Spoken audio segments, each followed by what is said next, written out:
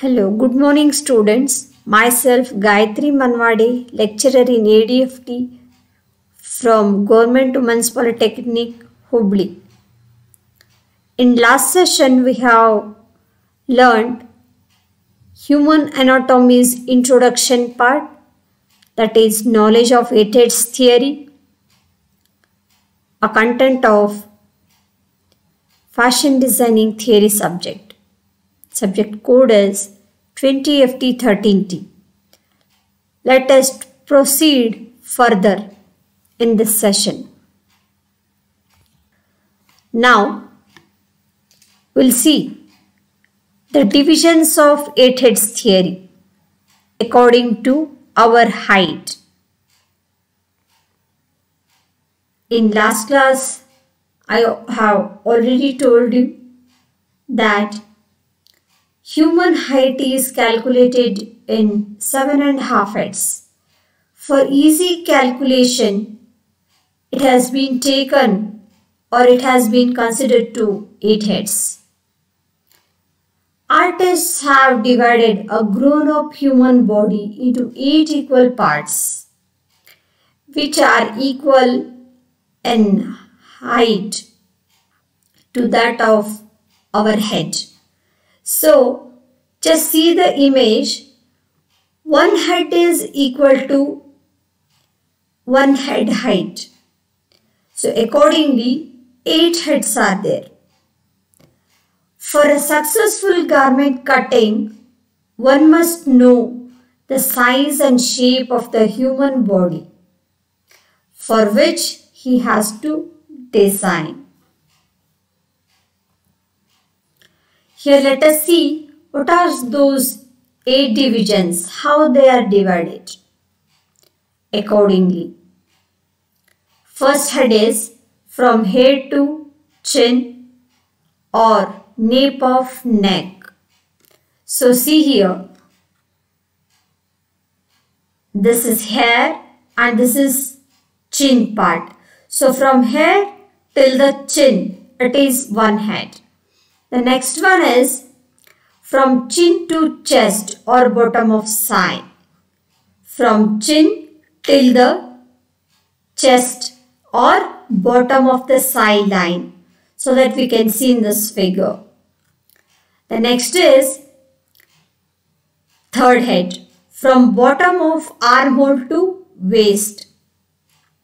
From bottom where the first head ends from there the second head starts where the second head ends from there third head starts. So in the same manner everything will get proceeded. So let us see what is third head from bottom of the scye till the waistline. The emphasizing area of the human figure is waistline. The next is fourth head from waistline to the hip line. Next one. The fifth head is from hip line till the mid thigh. The middle part of the thigh is called as mid thigh.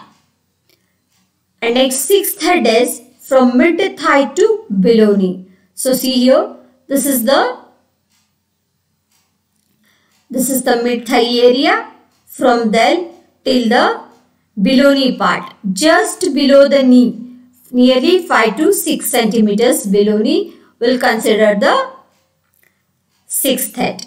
The next comes seventh head. That is from knee to from below knee to calf or muscle. Calf muscle we call it and next is eighth head. From calf to tip of toe.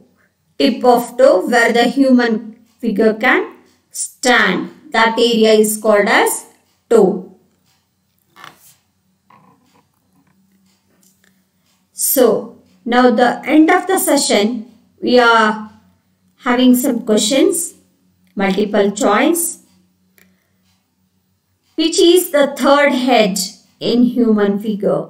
So, the options are from hair to chin or nape of neck from chin to chest or bottom of scye, from waist to hip, from bottom of arm hole to waist.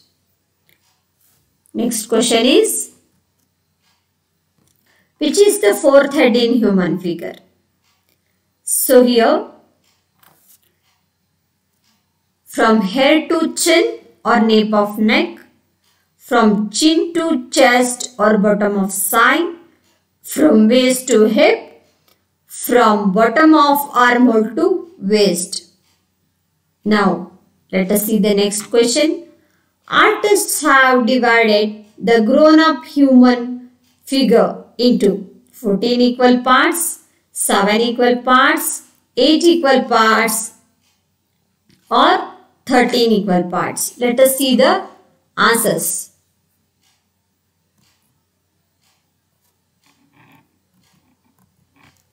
So the key answers are first question answer is D option D. The second one is option C.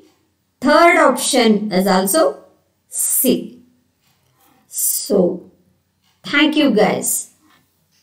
I hope you enjoyed the session and let us continue in the next session with next topic. Thank you guys. Take care. Bye.